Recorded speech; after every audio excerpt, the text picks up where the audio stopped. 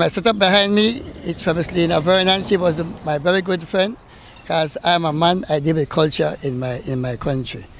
Every, everything that take part in my country, all the, all the culture activities, I always put out here in front of my house. But Lila was my very good friend. So you knew her personally? Yes, yes.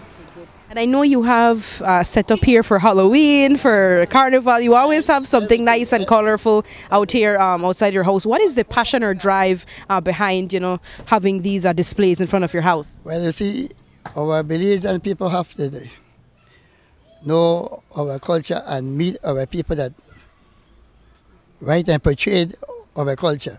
Like, I'm a good friend also along with Mr. Peters right? And when Mr. Peters passed away, I have out here, well, I'm up too. So, but, but Miss Lila Vernon, she, she carried on the culture, the, the culture from when they broke down, and now she is a female brukdown artist. So I come out here and show the kids them, and everybody come out here and take picture, and without no charge. I make everybody come and enjoy. How do you want people to remember her um, when looking at your display?